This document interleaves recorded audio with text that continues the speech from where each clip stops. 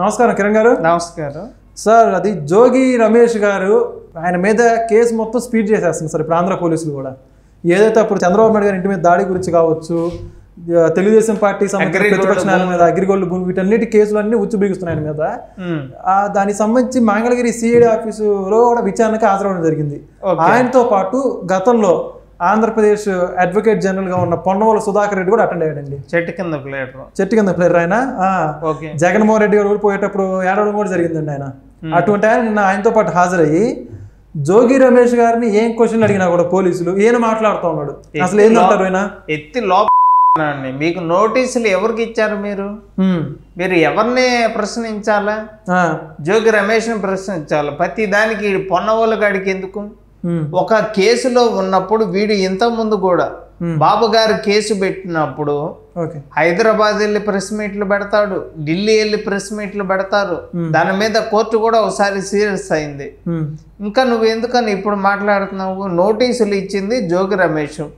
బాబు గారి ఇంటి మీదకి ఎందుకు వెళ్ళావు? నువ్వు ఎందుకు ఒళ్ళు బలిసి అట్లాగా లోకేష్ గారిని కానీ బాబు గారిని కానీ అట్లా మాట్లాడావు? పవన్ కళ్యాణ్ కూడా నోటికి వచ్చినాడు తిట్టావు. ప్రతి దానికి సమాధానం నువ్వు చెప్పాలా? పొన్న వాళ్ళ కాడికి కాళ్ళు చేతులు ఇరుగుతాయి ఇక. వాడిని తీసి పక్కన ఎత్తే మొత్తం ఈడు సమాధానం చెప్తాడు. చెప్పలేదా? ఎత్తి లోపలేయండి ఈయన్ని అసలు నిందితుడు మాట్లాడితే పొన్న వాళ్ళ కాడిని కూడా లోపలేయటం అసలు. నిందితుడు మాట్లాడకుండా ఈ లాయర్ గారు పొన్నవులు మాట్లాడడం ఎంతవరకు కరెక్ట్ అంటారు? లేపి తన్నించుకోవటం అంటే ఇదే మరి.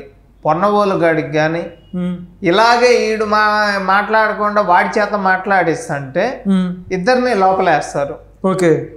అసలుకి అధికారంలో ఉన్నప్పుడు పొన్నవోలు సుధాకర్ రెడ్డి చేసిన అంతా ఇంత కాదండి. వైసీపీ రౌడీలందరికీ సగం ఈయనే. ఏదన్నా కోర్టు సమస్య కావచ్చు వాళ్ళ మీద దాడులు చేసినా ప్రతిపక్ష నాయకుల మీద దాడులు చేసినా ఆ కేసులు మొత్తం చూసి అసలు ఈయనే. ఈరోజు ఈయన ఇంకా ఇలా చేయడం ఎంతవరకు కరెక్ట్ అనుకోవాలి అసలు? టైం దగ్గర పడింది. పొన్నవులు ఎప్పుడైనా లోపలికి వెళ్ళిపోవచ్చు. పొన్నవలే వెళ్ళిపోవచ్చా? మరి ఆయన కేసు ఎవరు వాదిస్తారు మరి? ఎవరు? ఆయనే ఒక లాయరు. ఎవరైనా లోపలికి వెళ్తే ఆయన వాదిస్తాడు కేసులు. మరి ఇప్పుడు ఆయన లోపలికి వెళ్తే ఆయన కేసు వాడి? కేసు వాడే వాయించుకోవాలా? ఇంక చేసేది ఏం లేదు. ఓకే. జోగి రమేష్ గారి పరిస్థితి ఏంటి మరి? జోగి రమేష్ ఇంకా కన్న కొడుకను అతను ఒకే జైల్లో ఉంటారు. ఆయన వాళ్ళ కొడుక్కి పద్నాలుగు రోజులు రిమాండ్ వేశారు. వాడు బయటకు వచ్చిన తర్వాత మళ్ళీ సిఐడి అధికారులు తీసుకెళ్ళి మళ్ళీ లోపలేస్తారు. అగ్రిగోల్డ్ భూములు నెంబర్లు మార్చడం రిజిస్ట్రేషన్ చేయించుకోవటం? ఓకే. జోగి రమేష్ ఏమో మేము కొనలేదు అంటాడు. ఈయనేమో మేము కొన్నాము అంటాడు. అన్నీ అందరికి తెలుసు అండి మరి చిన్నపిల్లడు అంటున్నారు కదండి మరి ఆయన వాళ్ళ నాన్న. ఎవరు? జోగి రమేష్ వాళ్ళ కొడుకు రాజీవ్ని. మా కొడుకు అభం శోభం తెలియదు అమాయకుడు విదేశాల్లో చదువుకొని వచ్చాడు అంటున్నాడు మరి. నోట్లో ఏలు పెడితే కొరకడండి. గదిలోకి అమ్మాయిని పంపించినా కూడా కాపురం చేయలేడండి. ఈ మాటలు చెప్తున్నాడా? ఎలా అర్థం చేసుకోవాలి మరి ఆ? ఆయనకి ఏం తెలియదు అంటున్నారు మరి అట్లాంటి వైఎస్ఆర్ కాంగ్రెస్ పార్టీకి కూడా ఏమీ తెలియదు.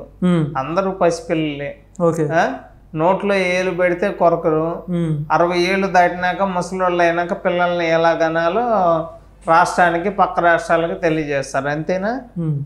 అంతేనా అరవై ఏళ్ళు దాటిన విజయసాయి రెడ్డి దువ్వాడ ద్వారంపూడి వీళ్ళందరూ పిల్లల్ని కన్నోళ్ళేగా? ఓకే. గేలు అంటే అంబటి రాంబాబు గే అవంతి గే గోరంట్ల మాధవ్ గే? వీళ్ళు ఇప్పుడు బాధపడుతున్నారు మేమే ఐదేళ్ళు కాపురం చేసినా కానీ మాకు పిల్లలు పుట్టట్లేదు.